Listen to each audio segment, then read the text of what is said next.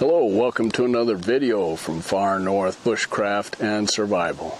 My name is Lonnie, and behind the camera is my lovely wife, Connie. We're glad that you joined us today. This is a requested video. Somebody asked that I could show how to make cowboy coffee. So today, we are going to make some traditional coffee, starting from the green raw bean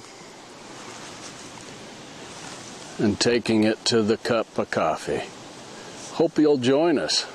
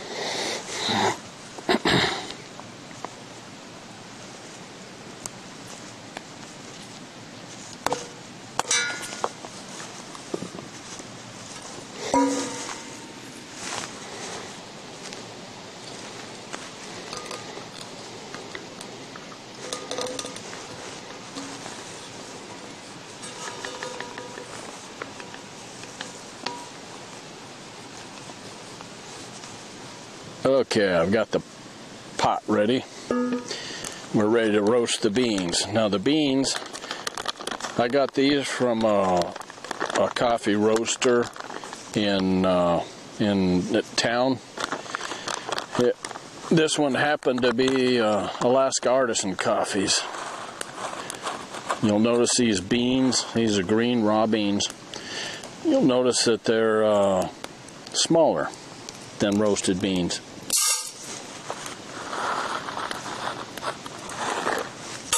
So we'll put in about enough for uh, oh, a couple of cups of coffee.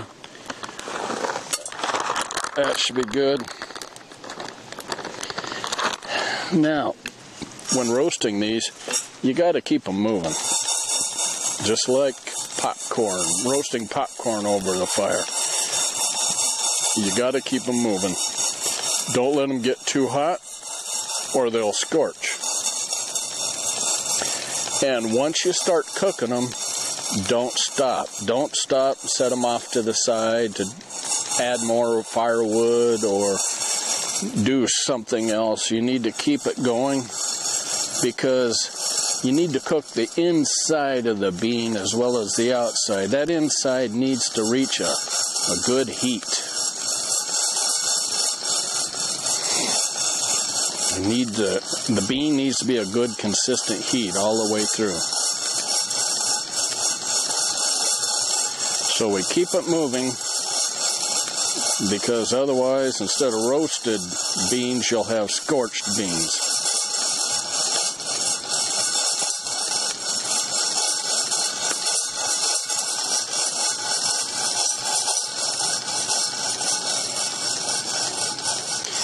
Already you might be noticing that they're turning a little bit browner.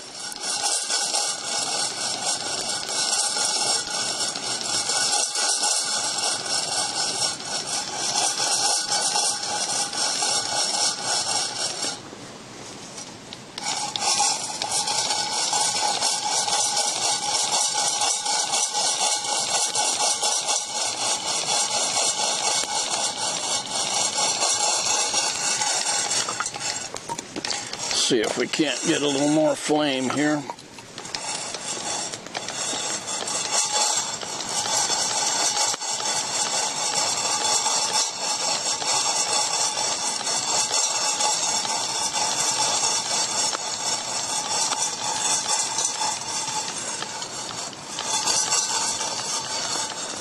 Now, when you're roasting, you'll uh, you'll hear something that's commonly referred to as a cracking. What we're after is we're gonna go through the first cracking. I'll show you when we hear it. You'll be able to to audibly hear it, and then uh, we'll take it to the second cracking. That'll create a fairly dark roast. Okay, as you notice, they're quite a bit browner now, and they're going through the first cracking. Hope you, hopefully, you can hear that.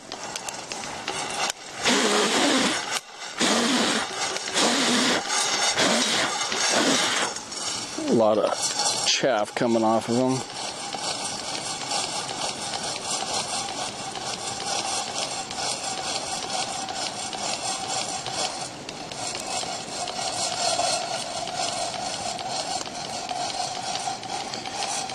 Okay, we'll continue to roast them until we start hearing the second cracking. Okay, here's the, the second cracking, and uh, it's just starting. See if we can hear it. Yeah, hopefully you can hear that. Yeah. Okay, so we'll roast it just a little bit longer here. And then, uh, when we're ready to call it good, we'll head for the creek and we'll cool it down. Otherwise, it'll keep uh, cooking internally.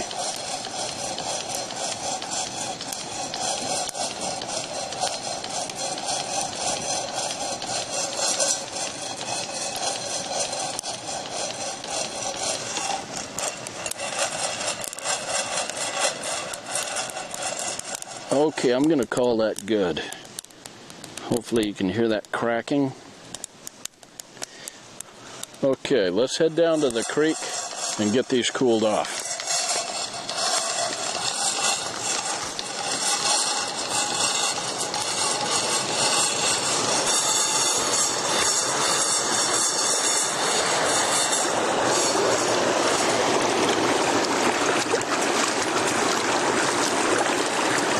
Now you don't want to cool down your pan too fast or you'll you'll warp your pan.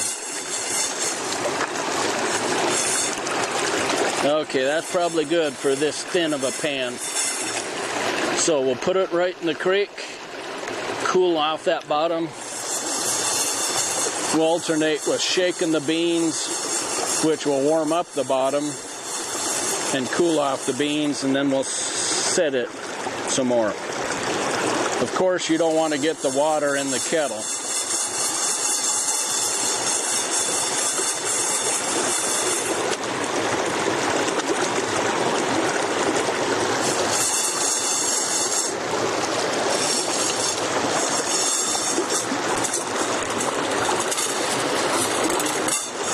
Okay, these beans are still fairly warm. They're easily handleable now.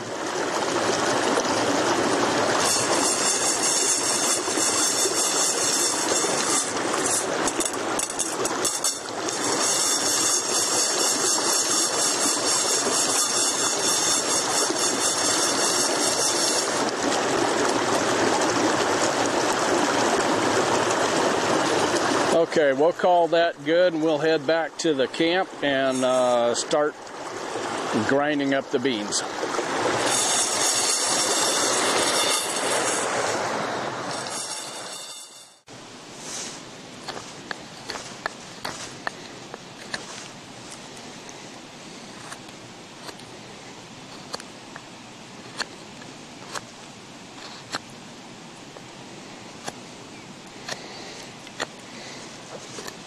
Okay, we're gonna we're gonna use this stick to uh, to uh, crumble the beans, crush the beans, grind the beans.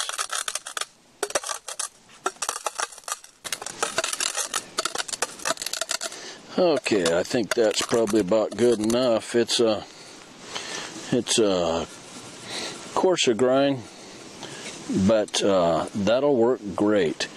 Now we need to set up our pot stand so we can brew some of this up.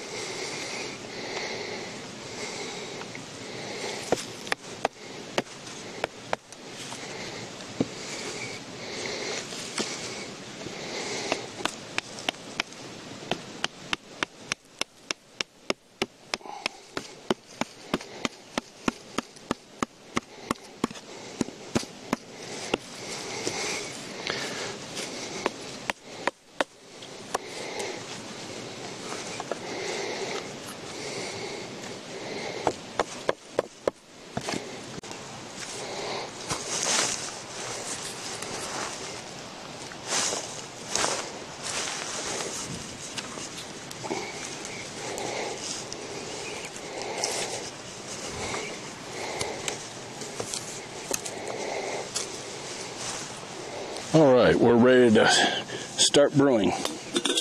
Uh, so we're going to fill this about half full, no more than half full, because uh, we don't want we don't want to take a chance of it boiling over. Yeah, it's probably about right. Okay. Now, uh, we're gonna get us a, a good handful here of grounds, uh, maybe a little more. Okay, and we don't want to stir them in.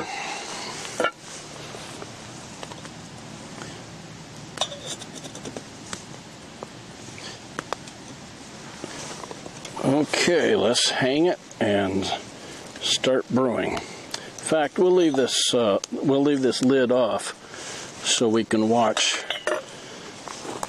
the process here.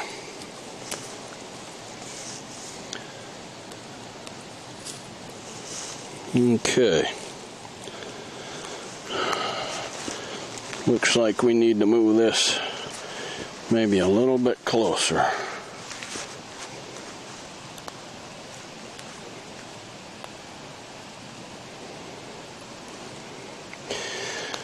That looks good right there. Now, see if we can drop it down. Uh, we better not. We better keep it right here.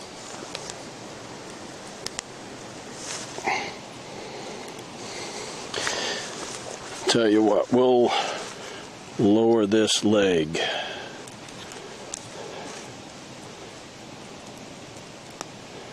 There.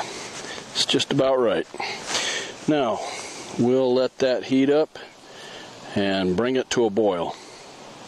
As you can see, the grounds are floating, many of the grounds are floating on top there.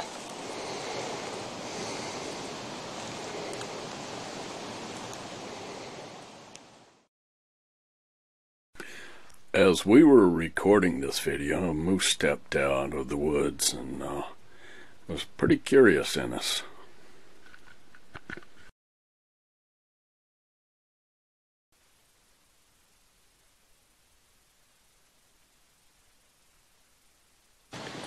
Okay, well, this is brewing. I got a little story to tell. There was a story around the turn of the uh, 1900s, early 1900s, here in Alaska, where the miners would come into Valdez by ship. They would disembark there.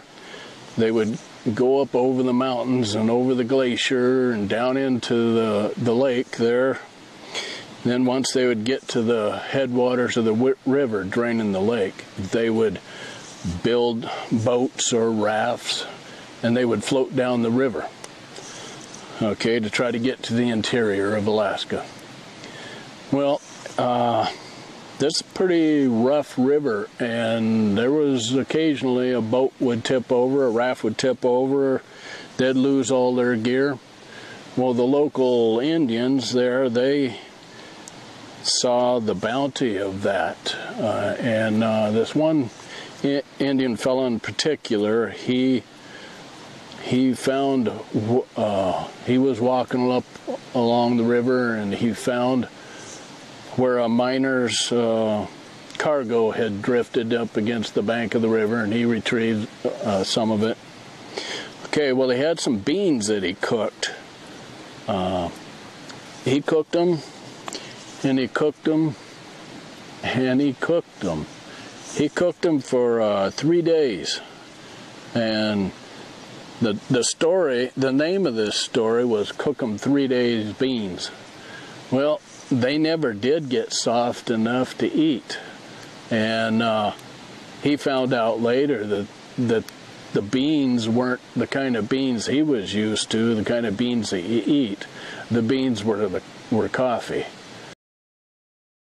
Once the coffee has reached a good rolling boil and the grounds are all boiled into the water and are off the top of the foam, I like to give it one full minute from that point where the coffee grounds are no longer on top. Okay, it's been a minute, so let's take this off the fire, let it sit for a bit to settle out the grounds, and then we'll be ready to sample the brew. Well, the coffee's cooled down enough now, probably, and uh, the grounds have had a chance to settle a bit. So let's pour up some brew and give it a taste. Now, when pouring this, you want to pour, uh, you want to handle the pot carefully. Don't shake it up a lot. Pour it carefully, and you don't want to pour the last bit out of here because there will be grounds in it. And same with uh, the coffee cup. When drinking it, when drinking uh, the traditional cowboy coffee, you don't want to drink the last little bit because there will be grounds in that as well. So let's give it a try.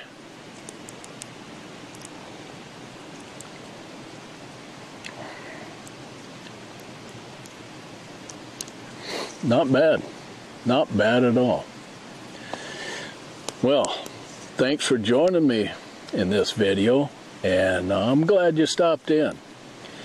You guys take care, and we'll see you on the next video. Have a good week. If you enjoyed this video, be sure and give it a thumbs up and to share it, as well as subscribe so you don't miss any more. And check out these suggested videos here. Thank you.